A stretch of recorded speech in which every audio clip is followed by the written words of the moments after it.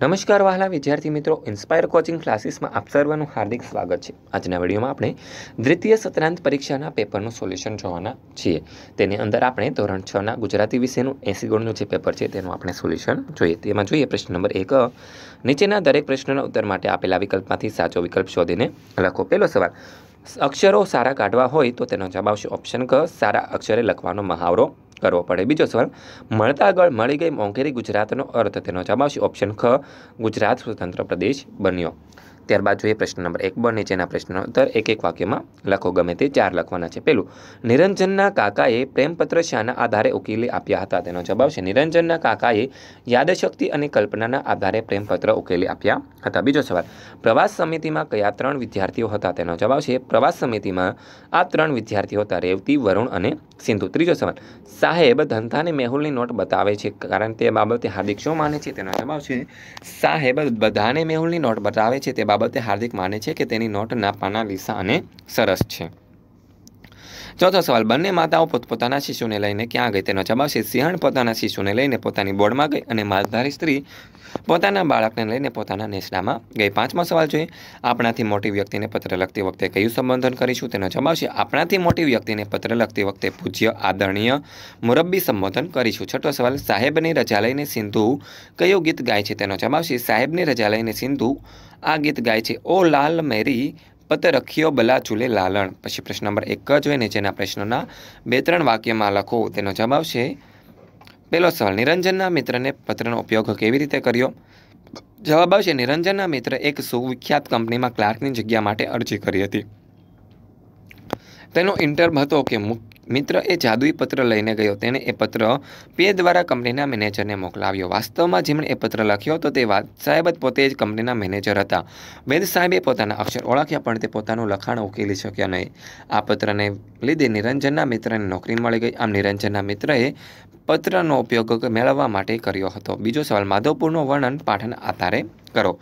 તેનો જવાબ છે માધવપુર સૌરાષ્ટ્રના સાગરકાંઠાનું વૃંદાવન છે.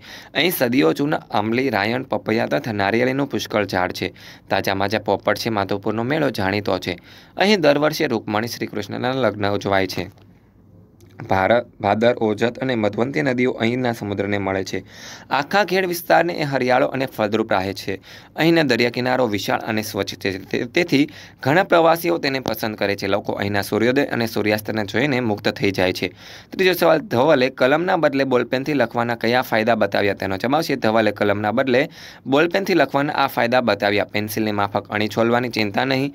ઇન્ડી પેનની માફક શાહી ભરવાની કડાકૂટ નહીં હાથ ગંદા થવાનો ડર નહીં અને રિફિલ ખલાસ થઈ જાય એને બદલી નાખવાની. ચોથો સવાલ, દાદા મેકરણ વિશે પાંચ વાક્યો લખો. તેનો જવાબ છે, દાદા મેકરણ કચ્છના સંત, કવિ અને મહાત્મા હતા. મેકરણ દાદાના બે મૂંગા મિત્ર હતા. એક લાલિયો ગધેડો અને બીજો મોતિયો કૂતરો. દાદાના પરોપકારી કાર્યો, આ બે પ્રાણીઓને આભારી હતા. કચ્છ અને કાઠિયાવાડમાં ઠેરફેર એમના ભજવાનો ને સાખીઓ ભાવપૂર્વક ગવાય છે. સંવંત સત્તરસો છ્યાસીના આસોવદ ચૌદના શનિવારે સવારે કચ્છના ધંગ ગામે પોતાના બાર સંત પુરુષોની મંડળી સાથે તેમને જીવતા સમાધિ લીધી હતી. ત્યારબાદ જોઈએ પ્રશ્ન નંબર એક. વાક્ય કોણ બોલે છે અને કોને કહે છે તે લખો.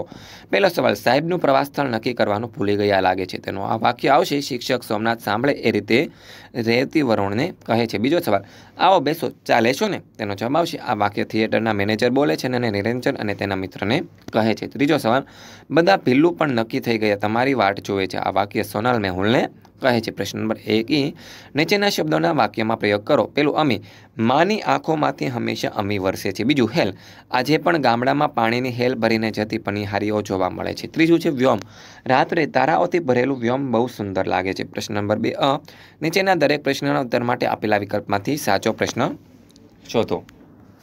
તેમાં પહેલું છે, રાવણનું મિથ્યાભિમાન કાવ્યમાં આખરે રાવણ તેનો જવાબ છે ધનુષ્યને નીચે દબાયો. બીજો સવાલ છે, કાવ્યમાં ગુજરાત મોરી મોરી રે શબ્દ વારંવાર વપરાય છે, એ બતાવે છે કે ગુજરાત પ્રત્યેનો પ્રેમ. પ્રશ્ન નંબર બે બ જોઈએ, નીચેના પ્રશ્નોના એક એક વાક્યમાં લખો. તેમાં પહેલો સવાલ છે, વાંસળી ઉતરાવી એમ કવિ શા માટે કહે છે? બનાવી એમ શા માટે નહીં. તેનો જવાબ છે, ઉતરાવું એટલે કે છોલીને કાપીને ખાટ આપો. વાંસમાંથી વાંસળી બનાવવા માટે તેને છોલીને કાપીને તેની રચના કરવામાં આવે છે. તેથી વાંસળી ઉતરાવવી એમ કહેવાય, વાંસળી બનાવી તેમ નહીં. બીજો સવાલ, રાવણના મતે જનક રાજાને કોણ મારશે? તેનો જવાબ છે, રાવણના મતે જનક રાજાને કુંભકર્ણ અને ઇન્દ્રજીત મારશે ત્રીજો સવાલ. જનક રાજાએ સ્વયંવર વખતે શી શરત મૂકી હતી? તેનો જવાબ છે જનક રાજાએ સીતાજીના સ્વયંવર વખતે આ શરત મૂકી હતી જે વ્યક્તિ ત્રંબક ધનુષને ઉઠાવે, તેને સીતાવર માળા પહેરાવે. ચોથો સવાલ જોઈએ, ગીતામાં મોતીડા શબ્દ કોના માટે વપરાય છે? શા માટે? તેનો જવાબ છે ગીતમાં મોતીડા શબ્દ ખેતરમાં ઝૂલતા હુંડામાં રહેલા દાણા માટે વપરાયા છે. મોતી કિંમતી છે મોતી જેવા અનાજના દાણા પણ કિંમતી છે. પાંચમો સવાલ, ચરોતર પ્રદેશ ક્યાં આવેલો છે? તેનો જવાબ આવશે, ચરોતર પ્રદેશ મહી અને સાબરમતીની વચ્ચે આવેલો છે. ચરોતરમાં ટોટલ એકસો ચાર ગામો આવેલા છે. છઠ્ઠો સવાલ, નર્મદાના સમયે ગુજરાતની સ્થિતિ કેવી હતી? તેનો જવાબ છે નર્મદાના સમયમાં ગુજરાતની સામાજિક સ્થિતિ સારી ન હતી. ગુજરાતનું જીવન દોહલું હતું. પ્રશ્ન નંબર બે ક જોઈ નીચેના પ્રશ્નોનો બે ત્રણ વાક્યમાં ઉત્તર લખો. કાવ્યમાં ગુજરાતના કયા કયા પ્રદેશનો ઉલ્લેખ થયો છે, એ પ્રદેશો શા માટે જાણીતા છે તેનો જવાબ આવશે. કાવ્યના ગુજરાતના ચરોતર ચોરવાડ પ્રદેશનો ઉલ્લેખ કરવામાં આવ્યો છે. ચરોતરની એની ફળદ્રુપતાની ફળદ્રુપ જમીન અને ઔદ્યોગિક વિકાસ માટે તેમજ ચોરદ્વાર દરિયા કિનારાના વિહારધામ તરીકે જાણીતા વાંસળી કેવી રીતે વાગતી હશે તેનો જવાબ આવશે. વાંસળી ફૂંક મારીને વગાડવામાં આવે છે. વાંસળી પર સાત છિદ્ર પાડેલા હોય છે. છિદ્રો પર આંગળીઓ દાબીને કે છિદ્રો પરથી આંગળીઓ ઉઠાવીને સાત પ્રકારના સૂરો કાઢવામાં આવે છે. ત્રીજો સવાલ, ધનુષ્ય ઉપાડવા જતાં રાવણની શી દશા થઈ? તેનો જવાબ આવશે, ધનુષ્ય ઉપાડવા જતાં રાવણને ખૂબ જોર કરવું પડ્યું. તે પરસેવે રેપઝેપ થઈ ગયો. તેને શ્વાસ ચડ્યો. તેણે જેવું ધનુષ્ય સહેજ ઊંચું કર્યું કે તે હાથમાંથી છટકી ગયું. રાવણ ભોંય પર પટકાયો અને ધનુષ્ય તેના પર પડ્યું. તે ધનુષ્યની નીચે દબાયો અને ઘાયલ થયો. તેમાં મોંમાંથી લોહી વહેવા લાગ્યું. પછી આગળ જોઈએ, નીચેની કાવ્ય પંક્તિ પૂર્ણ કરો.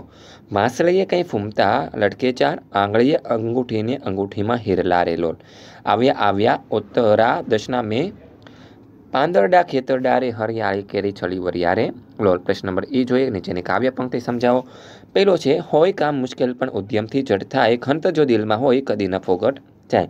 આ પંક્તિઓમાં કવિ કહે છે કે કોઈ પણ મુશ્કેલ કામ હોય, મહેનત કરવાથી જલ્દીથી થાય છે. જો આપણા દિલમાં ખંત હોય, તો અઘરું કામ પણ મહેનતથી પાર પાડી શકાય છે. આપણે મહેનત નકામી જતી નથી. કેટલાક કામ અઘરા હોય છે. જો આપણે તે ક્યારે અને કેવી રીતે થશે એમ વિચારતા જ રહીએ, તો તે કામ ક્યારેય થશે નહીં. આપણે ઉત્સાહથી અને આયોજનપૂર્વક એ કામ કરવા માંડીએ, તો આપણને ચોક્કસ સફળતા મળે છે. વિદ્યાર્થી તરીકે પણ જે વિષયો આપણને અઘરા લાગતા હોય, તે શીખવા માટે આપણે ખંતથી મહેનત કરીએ, એમાં જ સફળતા મળે છે. પ્રશ્ન નંબર એ જોઈએ.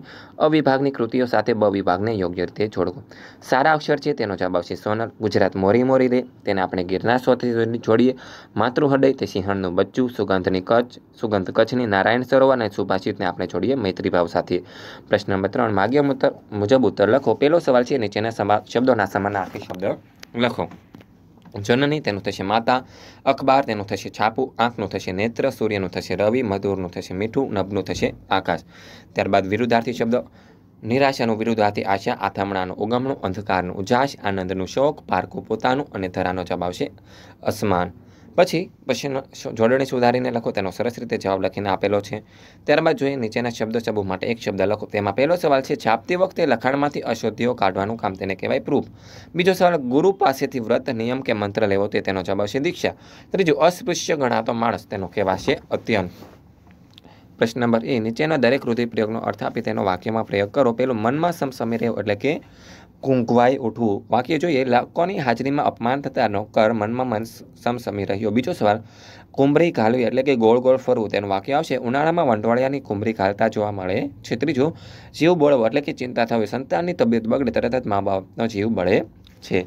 નીચેનામાંથી વિશેષણ શોધી તેનો વાક્યનો પ્રકાર જણાવો. પેલું છે, રાકેશ, મારો પ્રિય અને દયાળુ મિત્ર છે. તો અહીં પ્રિય અને દયાળુ છે તે ગુણવાચક છે. બીજું, હજાર રૂપિયા બમણા કરવા તેણે બેંકમાં મૂક્યા. તેનો જવાબ છે હજાર, એટલે કે તે સંખ્યાવાચક છે. ત્રીજું, તે થોડુંક ગુસ્સાવાળો છે. તે અહીં થોડુંક છે તે પ્રમાણવાચક છે. પ્રશ્ન નંબર ફ જોઈ અયોગ્ય વિરામ ચિહ્ન મૂકીને વાક્ય ફરીથી લખો. તો સરસ રીતે મેં જવાબ લખેલો છે. ક્રિયા વિશેષણ શોધીને લખવાના છે. દીવા દાંડીની પણ અનેક વાતો છે. તો અહીં અનેક છે તે ક્રિયા વિશેષણ છે. બીજું, ગોળીબારની નિશાનીઓ હજી દેખાય છે. તો આમાં હજુ છે તે જવાબ આવશે, પછી ત્રીજું છે, રસ્તો બરાબર નથી, તેનો જવાબ આવશે, બરાબર. પછી છ પ્રશ્ન જોઈએ, નીચેના શબ્દને શબ્દકોશના ક્રમમાં ગોઠવો, તે સરસ રીતે ગોઠવેલો છે. પછી મુદ્દા પરથી વાર્તા લેખન કરવાનું કીધેલું છે. અહીં સરસ રીતે મેં હાથ, માતૃહૃદયવાળી વાર્તા લખેલી છે, જે તમારે વાંચવાની છે અને યાદ રાખવાની છે. ત્યારબાદ પરીક્ષામાં પૂછાય, ત્યારે તમારે લખીને આવવાનું છે. ત્યારબાદ પત્ર લેખન કરવાનું કીધેલું છે. અને સુવાક્ય અક્ષરે લખવાનું છે અને વિચાર વિસ્તાર છે. બધા જ પ્રશ્નોના જવાબ મેં સરસ રીતે તમને લખીને આપેલા છે તે તમારે યાદ રાખવાના છે અને પેપરમાં પૂછાય તો તમારે તેને લખીને આવવાના રહેશે. વિદ્યાર્થી મિત્રો, આ વીડિયો જોયો, સાંભળ્યો અને સમજ્યા તે બદલ આપ સર્વનો ખૂબ ખૂબ આભાર. આવા જ એક નવા વીડિયો સાથે આપણે ફરી મળીશું. ત્યાં સુધી જો ચેનલને સબસ્ક્રાઇબ ન કરી હોય તો ફટાફટ સબસ્ક્રાઇબ કરી દો, જેથી કરીને આ પ્રકારના સોલ્યુશનના વીડિયો તમને અમારી ચેનલ પર સૌપ્રથમ મળતા રહે.